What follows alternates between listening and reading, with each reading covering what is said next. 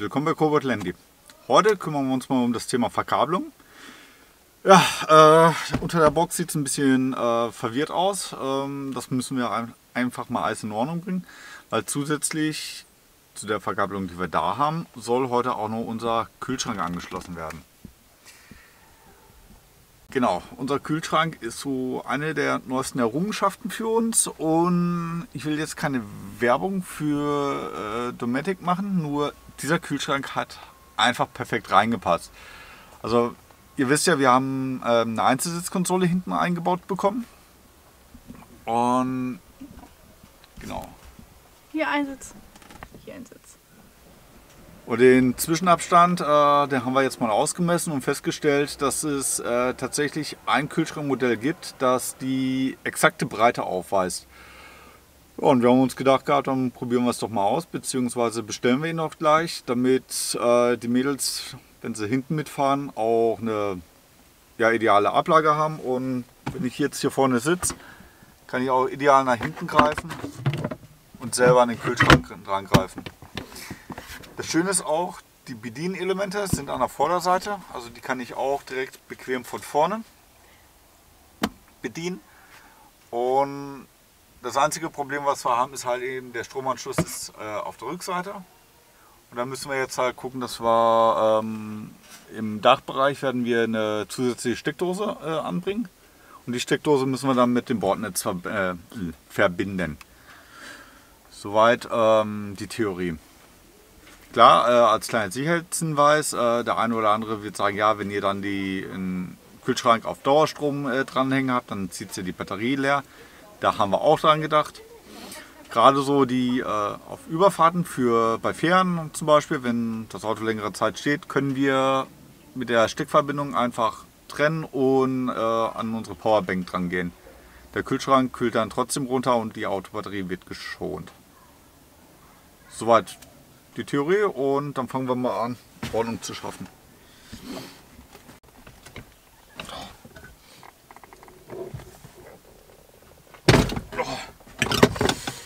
Die neuen Klipse. Genau, die neuen Klipse, die halten wunderbar.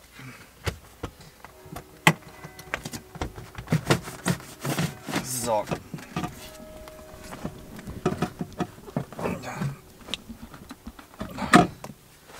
So, genau. Und das Ganze jetzt muss aufgeräumt werden. So. Wo habe ich jetzt extra den Schraubenschlüssel mitgenommen. Ja, das, das hier geht gar nicht mehr. So. so, erstmal die ganzen. Ja, das muss alles weg. Na komm. Na.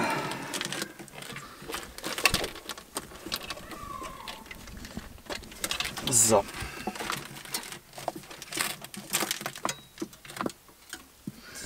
Dieses ganze Kabelgewirr. So. War eigentlich irgendwas Spezielles angeschlossen oder warum ist das so? Nee, das sind die ganzen. Ähm, also ich habe das äh, nicht richtig ans Pluspol dran bekommen, deswegen hab, äh, ist das Ganze immer auf Klemmen gewesen. Also das ist ja ähm, hier direkt äh, alles angeklemmt. Deswegen ist es halt ein bisschen, sah es ein bisschen doof aus alles. Ja, deswegen kommt jetzt äh, die Ersatzklemme dran oder die neue Klemme dran und die Kabel werden dann ordentlich mit der neuen Plusklemme ver verschraubt. Ja, dann würde ich mal sagen, gehen wir mal nach hinten.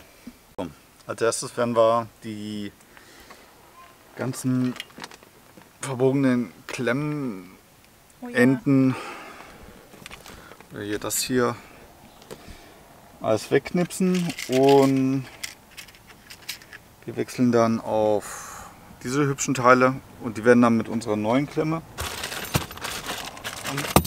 ja. da habe ich den Minuspol so sieht das vorne aus dann wird das einfach nur noch draufgelegt und also quasi die Schrauben runter die Schuhe drauf und das dann alles neu verklemmt damit ordentlicher aussieht. So.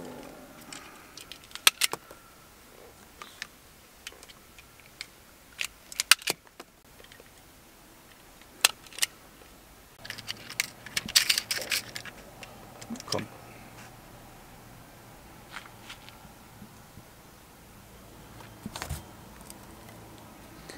Rein. Blau und zu. Einmal, zweimal.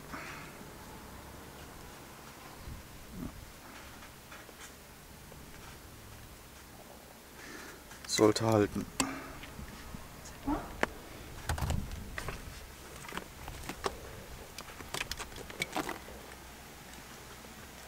Und das Ganze jetzt noch fünfmal.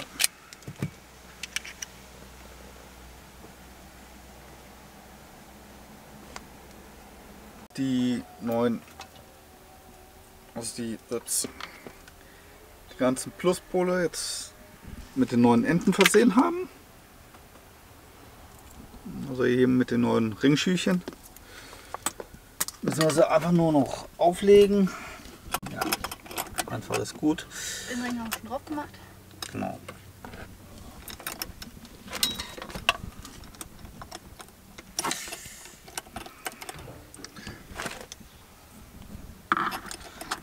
So ist die Schraube rutscht ständig runter. So. So, wie ihr seht, äh, haben wir das jetzt mal soweit festgeklippt, so wie es dann endgültig sein sollte. Also der Eiskratzer kommt nachher weg, der ist nur als Platzhalter, damit die Schrauben richtig schön hochdreht. Ja, und jetzt machen wir uns an das Kabel für den Kühlschrank. Das ist jetzt die Steckdose, die wir als ja, Verbindung zwischen Bordnetz und Kühlschrank verwenden wollen. Die werden wir dann nachher hier oben anbringen, also so am Gitter, damit dann das Kabel so rein und dann geht es von hier rüber, rüber ans Dach, vor an die A-Säule, ne, an die B-Säule und dann runter ans Batteriefach. Genau. Genau. Und wenn wir dann halt eben mal irgendwo länger stehen oder wenn wir auf einer Fähre sind, können wir hier abstöpseln und da anstöpseln. Und das System funktioniert genauso gut. Jo. Dann mache ich mich erstmal da dran, da das Kabel anzubringen.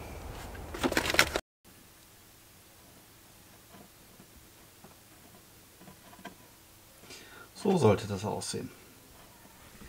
Beiden Verbindungen schön übereinander, damit das Zinn genau dazwischen durchfließen kann. Dass es auch eine schöne Verbindung gibt. Bevor das jetzt wieder auseinander flutscht.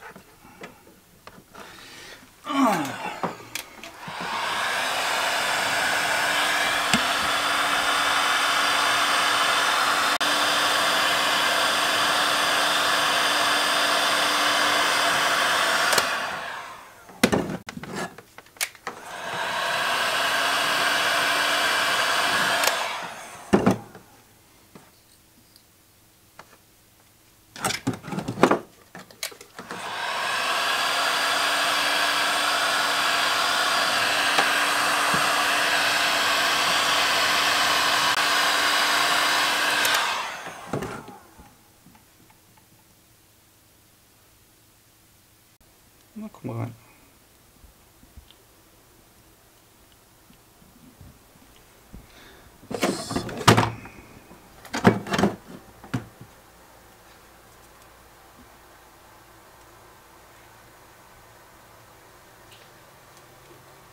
Einmal.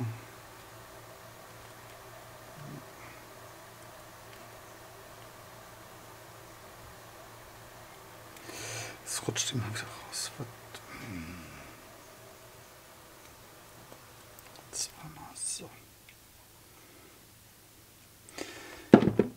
das nach hinten noch dichten.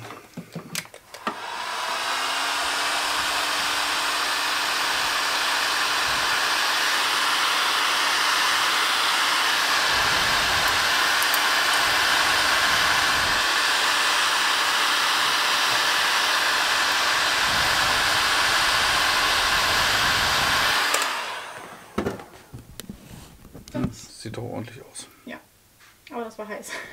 Mhm. Kanne abgekriegt. So.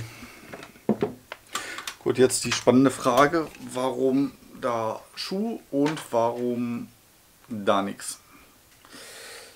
Ich habe mir, Hauptschuh und Genau. ein rundes Ding.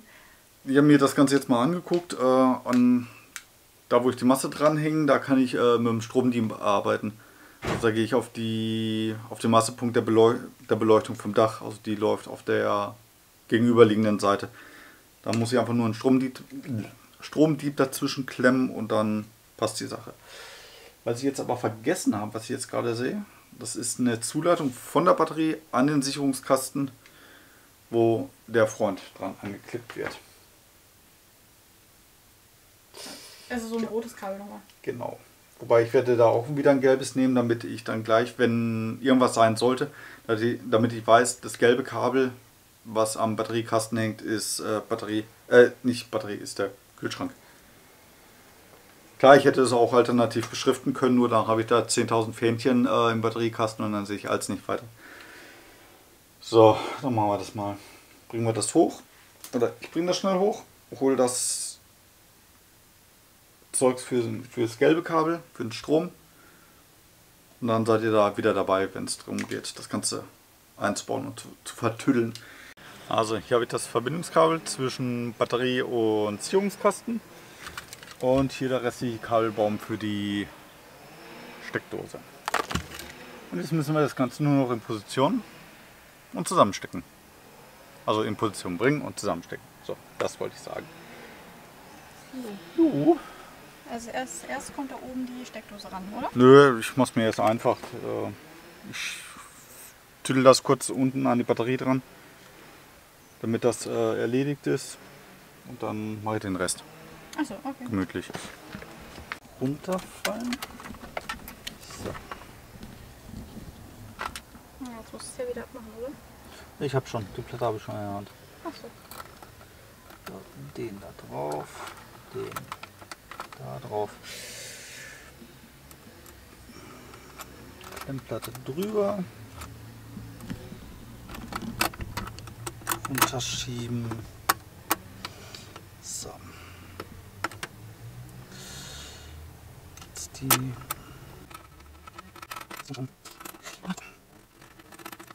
Jetzt die Frage.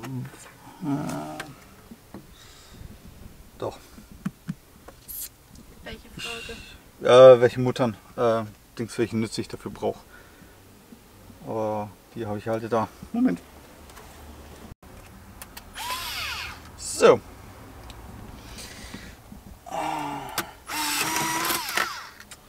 Ja. Ich mag Spielzeug. Ah. Wenn es mal richtig halten würde. So. Drauf.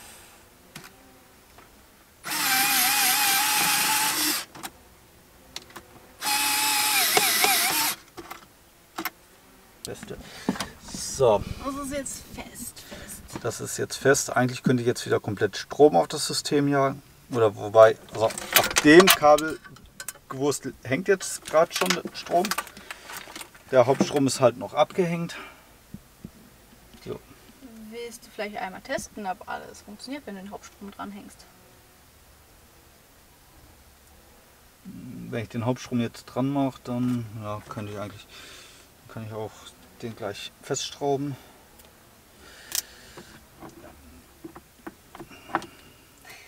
Und ob so wieder drauf passt, richtig. Ja, das muss ich ja jetzt so machen. Das passt so. Wo ist meine 13? Hier? Ah, ja. Unsere liebe 13. Also dass der isoliert, äh, Dings, ähm, dass er jetzt isolierband drum ist, das hat äh, Mittelaltergründe. Also ja, äh, es für, genau, für die Mittelaltermärkte brauchen wir grundsätzlich äh, 13er Schraubendre ähm, Schraubenschlüssel. Und ich glaube, das ist einer von drei, die wir uns für unser Mittelalterzeugs äh, zusammengesammelt haben. Wo wir dann immer gesagt haben, so, äh, ja, dass wir nicht lange suchen müssen, dass wir sehen, ah, der ummantelte, beziehungsweise der, ich glaube, einen haben wir mit Paracord. Ja. Also der neonfarbene, Genau. der umwickelte und noch ein anderer gehört dazu. Genau, dass wir dann halt eben, wenn wir bei uns in der Werkstatt sind, halt eben genau sehen, wo welcher hingehört. Oder wenn wir die Mädels mal losschicken, äh, Werkzeug zu holen. Dass wir dann sagen können, hol den oder hol den. Ich glaube, die Frage hatte ich dir schon mal gestellt. Warum kriegst du jetzt eben keinen Schlag, obwohl du da am blanken Metall bist? Weil alles geerdet ist.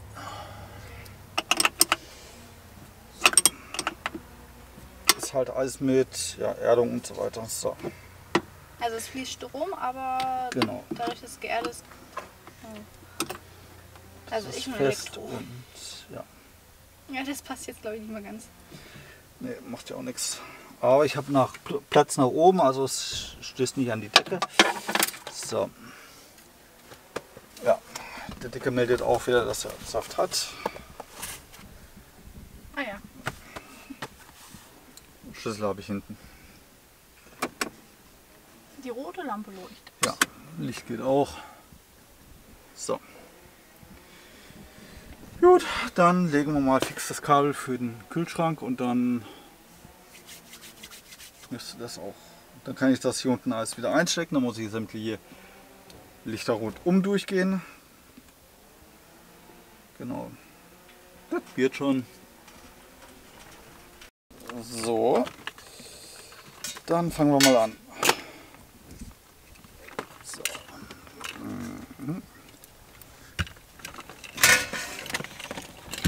Kabel, Kabel, Kabel, Kabel, Kabel, Kabel, Kabel.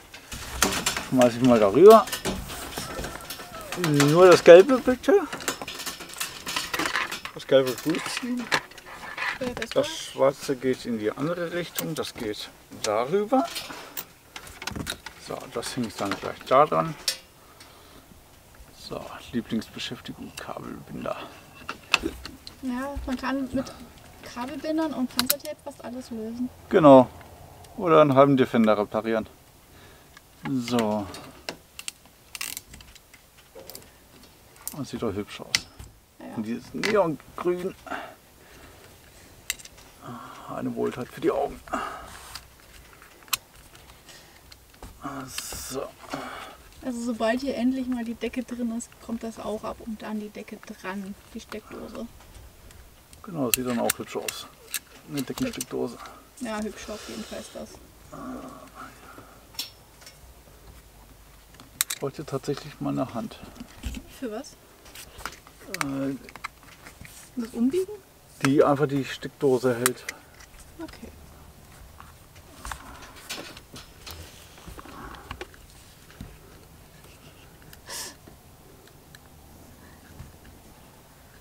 Fünfzehn kleine Wurstfinger. So, jetzt.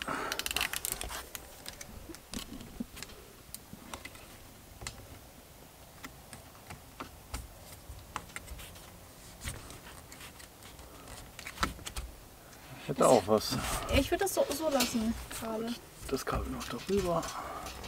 Das sieht aus wie von hinten wie so, äh, so ein Düsenjetpack.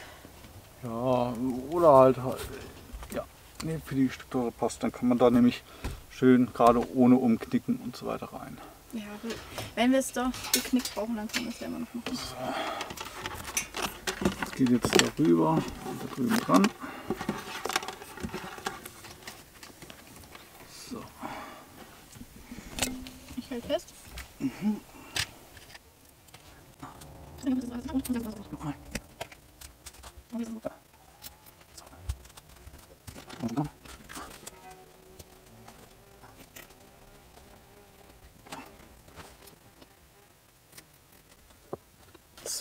so, so. Genau.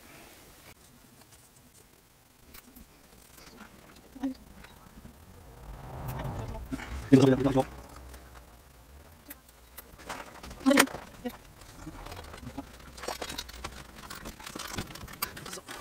kommt das spannende Teil, wie ich finde. Genau. Ich habe das Ganze. 10 Kilometer Kabel zu viel. Kannst du ja später vielleicht nochmal abkürzen. Boah, ich habe das so, so schön gemacht. Dann mach in der Mitte äh, was weg und dann da nochmal.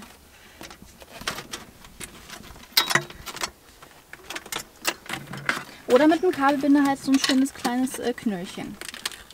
Ja, das wird wohl die bessere Variante sein. So, dann gehe ich auf die Leitung. Okay, wir sehen jetzt nichts. Der geht auf die eine Leitung.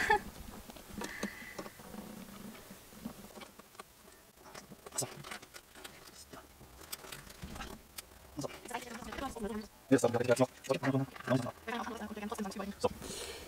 Und jetzt die große Frage, funktioniert es oder funktioniert es nicht? Ich gehe jetzt nach hinten und stecke mal den Kühlschrank ein. Ja. So. Also die. Oh, oh, oh, oh, oh, oh, oh, oh, das ist nicht gut. Was denn?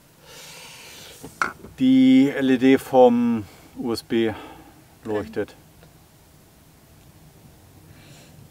Ja, das heißt, er zieht also dauerhaft Strom. Ich will da Dauerstrom ziehen, ja. Das ist nicht gut. Ähm, können wir einen Schalter einbauen? Müssen wir zwangsläufig. Ja, schon mal hier. Deine schöne Verbindung. Ja. An der Stelle wäre doch prima ein Schalter.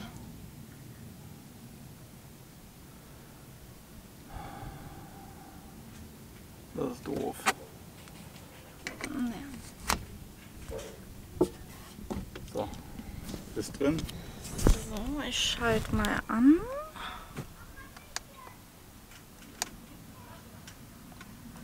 Es geht an. Und man hört die Lüftung. Gut, dann kann man das wieder abhängen. Jo, Strom ist aus. Ah, das mit dem USB ärgert mich jetzt.